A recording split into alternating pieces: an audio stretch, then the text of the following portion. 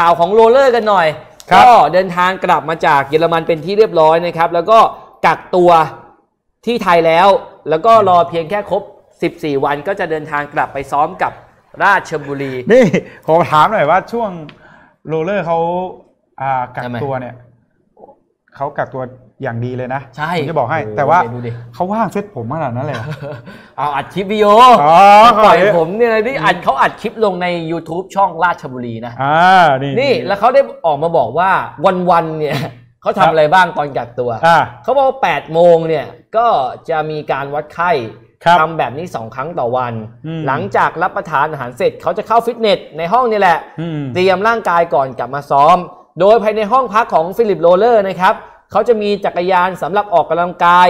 ที่สามารถเห็นวิวแม่น้ำไปพร้อมๆกับการปั่นนี่ไงนี่ไงนี่ไงโอ้นี่สถานที่กักตัวนี้ต้องบอกว่าหรูหราพอสมควรนะในเมืองไทยอะ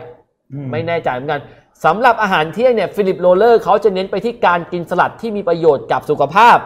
หลังจากนั้นช่วงบ่ายเนี่ยได้ทำการศึกษาขั้นพื้นฐานของการเป็นโค้ช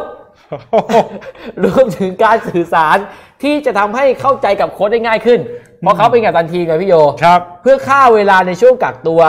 ส่วนตอนนี้ครอบครัวของเขายังไม่ได้กลับมาที่ประเทศไทยด้วย ผมมองว่ามันก็มีเวลาว่างเยอะให้ฟิลิปโรเลอร์เขาได้แบบฝึกภาษาไทย ได้ฝึกวิชาว่าคุยกับโค้ชเจี๊ยบยังไงครัให้มันรู้เรื่องกว่าเดิม โค้ชเจี๊ยบก็โทรไปหาบ่อยๆแล้วกันใช่เออได้ฝึกภาษาไทยกันด้วยครับก็เป็นอีกหนึ่งแบ็คขวาที่น่าจับตามองนะโอ้ผมชอบเขาเล่นดี ผมว่าเขาพรสวรรค์สูงมาก เร็วมากอืม